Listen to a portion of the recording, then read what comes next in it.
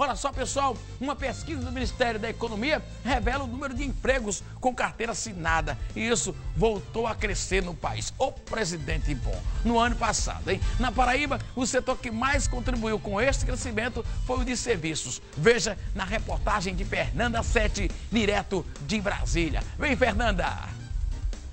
De acordo com os dados divulgados hoje pelo Ministério da Economia, empregos com carteira assinada aumentaram em 2018, depois de três anos seguidos de demissões.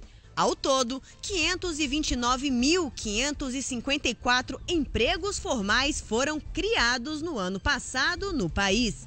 Excepcionalmente, no mês de dezembro de 2018, houve o fechamento de vagas. Foram 334.462 vagas formais fechadas em todo o Brasil.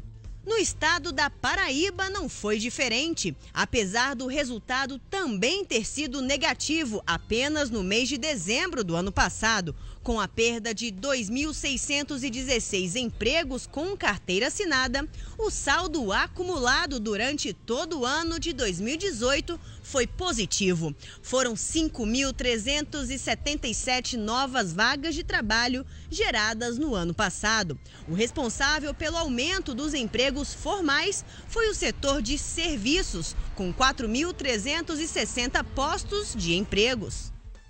Pois é, né? Que ponto aí, claro, chama-se gestão, né, gente? Quando há gestão, o emprego volta a crescer. Então aí, obviamente, tem uns pontos do governo Temer, do, do curto governo Temer, que foram positivos para o Brasil.